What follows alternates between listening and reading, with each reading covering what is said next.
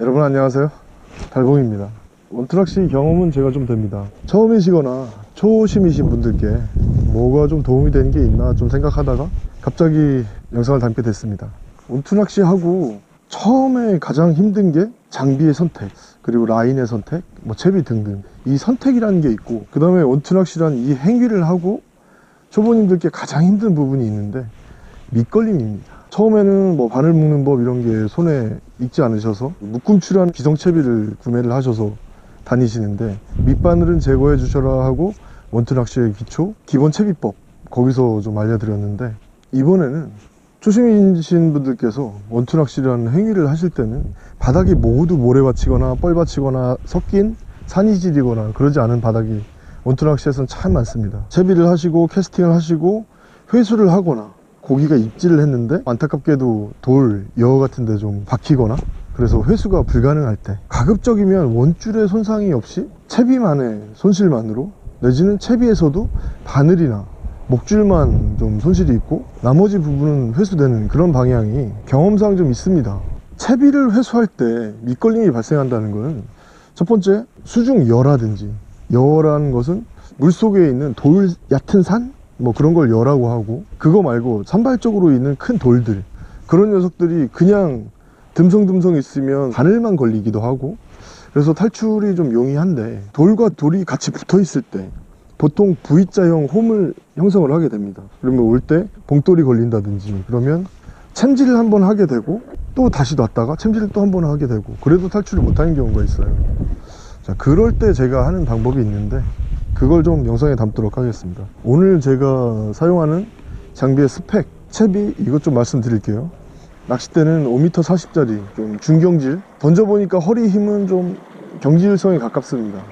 그리고 릴은 4500번 품번 원투 낚시 릴이고 그리고 원줄 릴에 감겨있는 원줄이 8합사 1호입니다.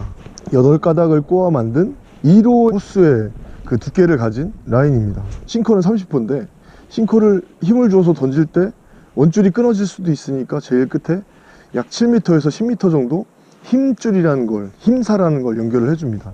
그것은 8합사 6호로 사용을 했어요. 채비는 추는 30호 기둥줄은 나일론 30호 목줄은 나일론 3호 모노라인 3호고 바늘이 도다리 바늘 일반적인 그 강선 바늘 13호입니다.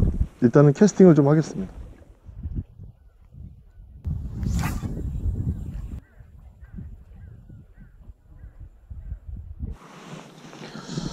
자 캐스팅을 했죠.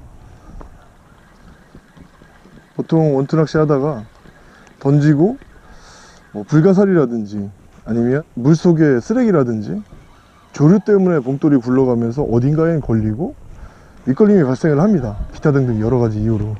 자 이건 지금 웬만하면 하고 위로 첨지를 해주시면 밑걸림이 탈출을 하는데 해결이 되지 않는 밑걸림들이 있어요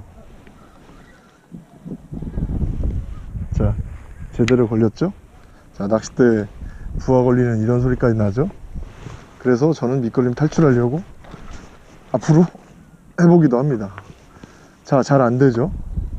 이럴 때 바다를 등지고 바다를 등지시고 낚싯대를 잡고 수직보다는 약간 바다 쪽으로 좀 경사지에 기울어서 앞으로 챔질을 하시는 겁니다. 자 빠졌죠 분명히 앞으로 걸리는 그 힘새도 보셨고.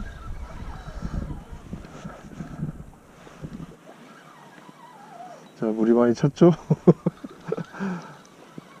딱 1, 2분만 더 하고 위쪽으로 옮겨서 설명을 좀 하겠습니다.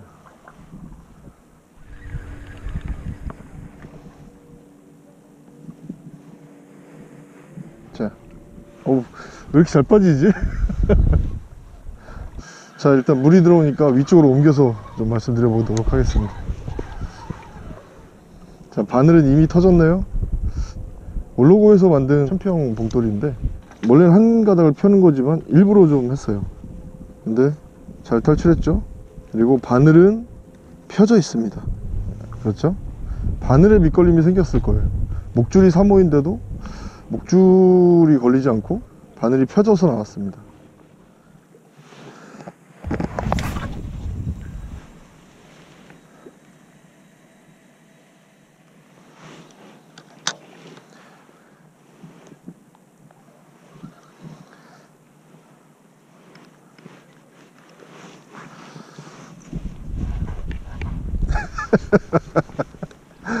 뭐야? 아, 참. 없어 밑걸림이. 어, 진짜 안 걸린다. 그렇게 밑걸림 걸리더니.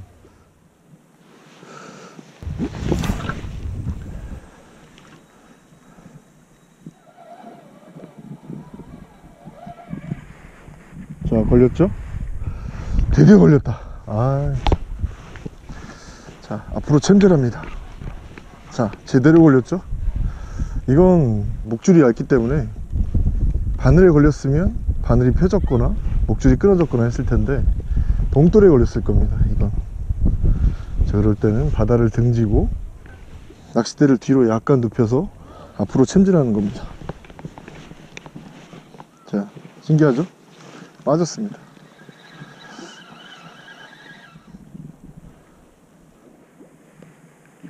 번 더 걸렸습니다. 월척 낚는 것 같아 기분이. 자 챔질을 해보죠. 자 두 번이면 되겠죠? 아 너무 잘 빠져. 아무튼 여기 어운돌항 내항 이쪽은 밑걸림 굉장히 심해요. 채비 손실 감소하시고 어, 바늘 많이 준비해 오세요. 물이 계속 들어와서 설명이 간단하니까 짧게만 말씀드리고 마무리하도록 하겠습니다 밑걸림이 걸렸을 때 도대체 왜 바다를 등지고 반대로 챔질을 하면 밑걸림 탈출이 잘 되느냐. 자 첫 번째는 시각적으로 공포를 느끼기 때문입니다. 내 장비가 부러지지 않을까? 혹은 원줄이 초리대나 뭐 중간에서 터지지 않을까? 막연한 두려움? 이런 것 때문에 챔질을 하고 내려놓을 때도 맘껏 내려놓지 못하고 그리고 당길 때도 낚싯대가 갖고 있는 힘만큼 많이 챔질을 하실 수가 없습니다. 자 뒤를 돌아보면 이게 내가 쳐다보지 않아서 그렇지 생각보다 낚싯대가 뒤로 많이 갑니다. 그리고 앞으로 챔질할 때도 강하게 하고 봉돌 V자형에 이렇게 들어가서 걸린다고 하면 얘가 걸렸다가 여유가 있다가 걸렸다가 여유가 있다가 하면서 핑하고 탈출을 할 텐데 앞에서 겁먹고 하다 보면 내려놓는 것도 많이 못하시고 내 낚싯대가 파손될까봐 챔질도 잘 못하세요. 그러니까 그 시각적 두려움 때문에 바다에 등을 치고 아예 쳐다보지 않고 챔질을 하시게 되는 겁니다. 자 두 번째 이유는 아, 좀 메커니즘적인 그 약간 설명이 좀 복잡하긴 한데 낚싯대를 만들 때 요즘에 카본 재질로 많이 만듭니다. 카본을 마치 종이처럼 얇게 펴가지고 돌돌돌 마는 거예요. 종이를 말듯이 하면 처음에 한 바퀴를 말았을 때 시작하는 부분 그리고 끝나는 부분 그 부분이 항상 같게 돼 있어요. 이게 세 바퀴를 감으면 시작 부분은 네 바퀴, 열 바퀴 감으면 열한 겹이 됩니다. 그러니까 그 부분이 버티는 힘에 의해서는 척추에 해당하는 그 부분이 되는 겁니다.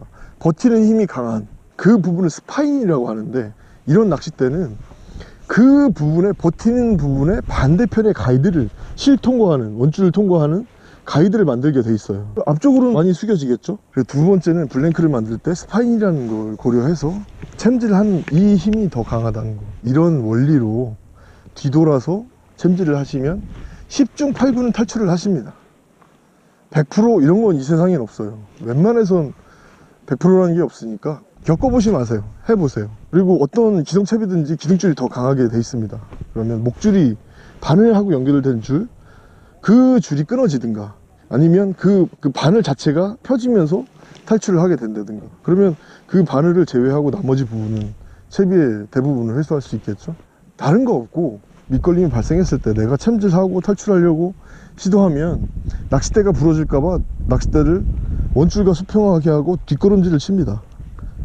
이렇게 하면 채비와 묶은 원줄에 손상이 없다면 원줄 끝부분 매듭 부분에서 나일론사든 합사든 매듭 부분을 꽉 당겨주면 그 부분이 가장 약하게 돼 있으니까 채비 바로 앞에 있는 원줄 부분에서 터지게 되지만 대부분의 채비를 잃어버리겠죠. 앞으로만 하시고 포기하시고 낚싯대를 눕혀서 뒷걸음질 쳐서 이렇게 원줄만 회수하시지 마시고 해보시고 안 빠지면 뒤 돌아서 낚싯대를 앞으로 챔질을 하시는 겁니다 저가형 낚싯대도 웬만해서 이렇게 한다고 내가 뭐 이 악 물고 이 낚싯대 어, 가격은 뭐 14만원? 뭐 이 정도 되는데 이걸 부러뜨리려고 이렇게 하진 않았잖아요. 그러니까 2만원 3만원 그런 낚싯대들도 충분히 스파인이 고려되지 않았어도 이거보다는 뒤돌아서 시각적인 그 두려움이 없을 때 챔질 하시는 게 충분히 버텨줍니다. 이 악 물고 막 부러뜨리려고 챔질 하시지 않는 이상. 그러니까 꼭 시도해 보시고 한 번, 두 번 하실 때마다 자신감이 늘어갑니다 참조하셔서 원투 낚시 하시는데 좋은 팁이 가급적 꿀팁이 됐으면 좋겠습니다 지켜보시느라 수고하셨습니다 수고하셨습니다 왜? 하는 게 공이 같았어?